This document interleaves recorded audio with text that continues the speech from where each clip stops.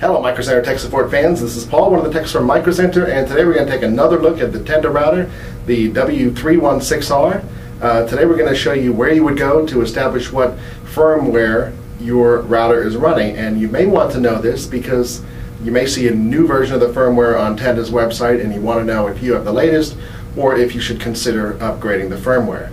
So this is Paul, one of the techs from Microcenter, and today we're going to show you where to find that. Let's get started. Alright, so to get started, you want to go ahead and open up a browser. You want to be hardwired to your router. Uh, you want to go to 192.168.0.1.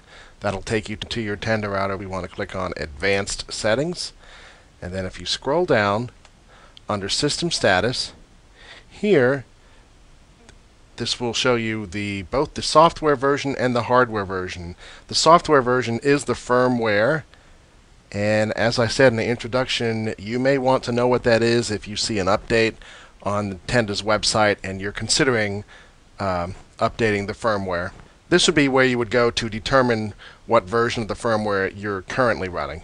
That's how to determine which version of the firmware you're currently running on your Tenda W316R router. If you have any other questions, come visit us at www.microcentertech.com or visit our no-wait chat service at chat.microcentertech.com.